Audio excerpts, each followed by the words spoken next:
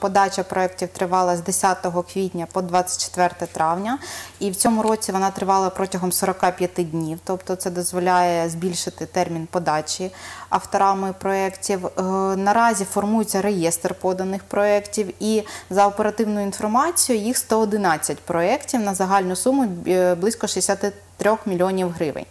Е, Наразі всі проекти, які були подані, а це більшість була подана в останні дні. Наприклад, 23-24 травня подано е, було 60 проєктів. Якщо на початок е, неділі, це на 20 травня, там було близько 22 проєктів, то на кінець 24 це вже 111. Тобто головна маса авторів подавала в останні дні, в принципі, як і в минулорічні періоди. Тобто тенденція зберігається, що всі проекти подаються, більша частина проєктів подається в останні дні.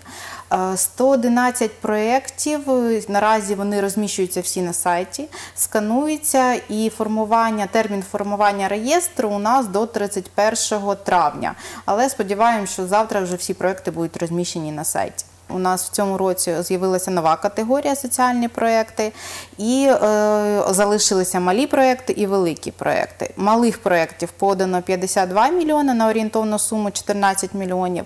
Великих е, проєктів подано 50 на орієнтовну суму більше 46 мільйонів.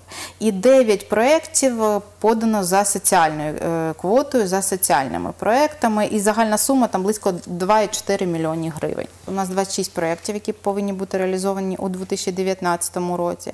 Один вже реалізований у травні. Це фестиваль Рух продовжує молодість. Е, е, Були сюжети також про даний фестиваль. І е, досить такі багато проєктів сьогодні знаходяться на стадії або проєктування, або розробки проєктно-кошторисної документації, де це потрібно. І досить такі багато проєктів, де вже укладено договори відповідні, і вже буде тривати. Реалізація даних проєктів протягом року. У нас розроблені календа- календарні графіки головними розпорядниками, і сподіваємося, що до жовтня всі проєкти зможуть бути реалізовані.